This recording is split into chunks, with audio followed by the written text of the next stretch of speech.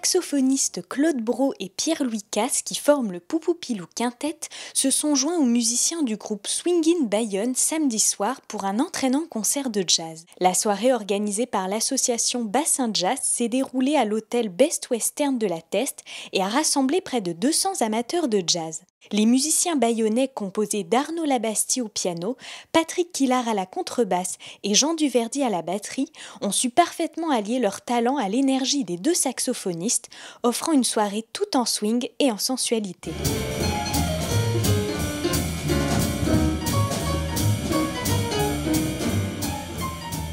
le groupe que nous allons entendre ce soir est composé de cinq musiciens, trois basques et deux saxophonistes ténors.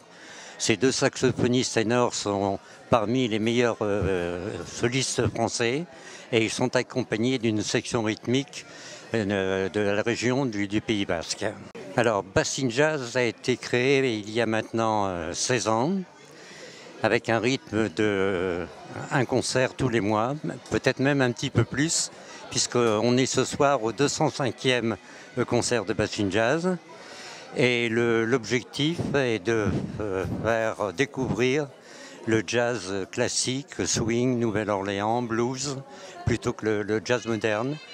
Et c'est la raison pour laquelle l'orthographe de notre euh, intitulé est jazz avec deux S, comme à l'origine de, cette musique.